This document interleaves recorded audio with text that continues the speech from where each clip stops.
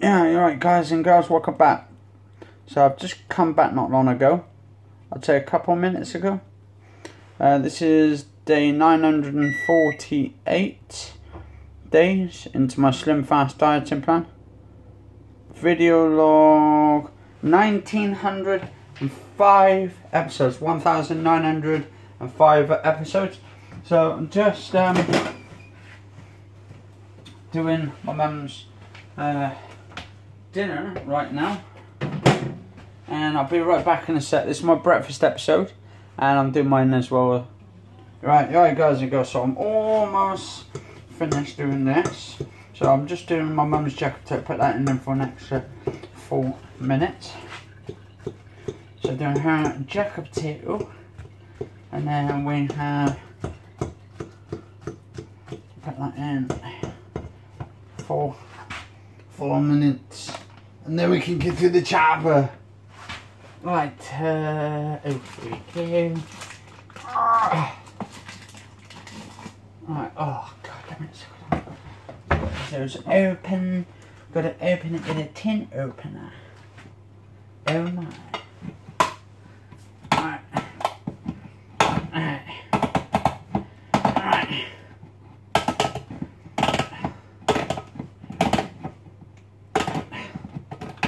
Right, uh, right, here we go. Slowly go round.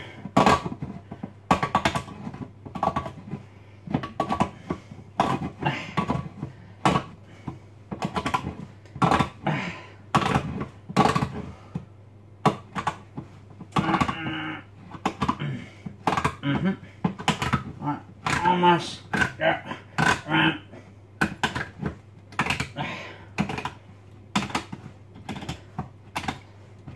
Yeah, just had to get that long bus.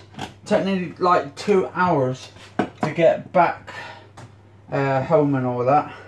Got the Clevedon, well, the bus from the bus station to Clevedon, and it goes through to the town and all that, uh, to Tesco's, and drops us off and all that.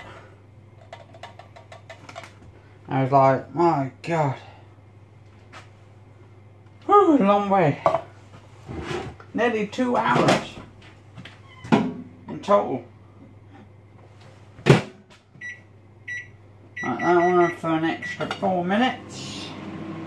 Anyway, so I'm going to finish this episode off, but before I do, for my breakfast episode, I had my Slim Fast this morning.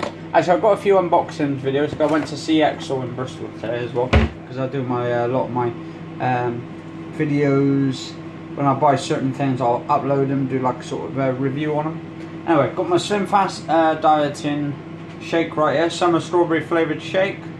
No added sugar, scientifically proven plan of weight loss. High protein, 15 grams of protein, 230 calories, source of fibre, 23 vitamins and minerals.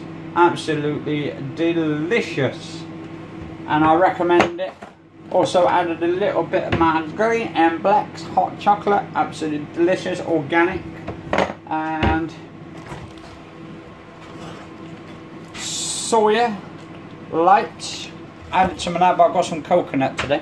My God, I went into Starbucks today as well. By God, amounts of people piling up, and like it was, it's kind of slow service in there. What you can compare with uh, Costa's, uh, for instance. I, uh, to be honest, I felt really like a traitor today when I went into uh, Starbucks. I mean, don't get me wrong, the coffee was absolutely nice, well, the chocolate was hot chocolate, soya, with soy milk in it. Uh, nothing else in it, because I'm vegan, so I just have it plain. Add the hot chocolate in there, absolutely delicious and hot and all that. But the service, like, took nearly ages I don't know what is. They had about four or five people in there going up and down doing stuff behind the counter and getting all the drinks. But I thought um, their service seemed lacking behind a little bit than what you do with Costas. You go in there with Costas, they have the drinks already, um, and then just go in there and collect it, and that's it, done. No complaints. But with Starbucks, seemed to be a bit different. But the coffee's nice actually. The hot chocolate, I should say, is quite nice. But anyway, guys and girls, I'm going to finish off this episode here. I'll be back in a minute. with my next episode. Anyway, cheers all for watching. Stay safe, guys and girls, and I'll see you on the next episode. It is today, Thursday, 9th of August 2018, and it's 10 18. Apparently, in Bristol right now, or just outside Bristol, they've got the hot air balloons on, I think, to midnight, and they're doing them from the 9th of August all the way up to the 12th of August, so they're having this sort of uh, festival.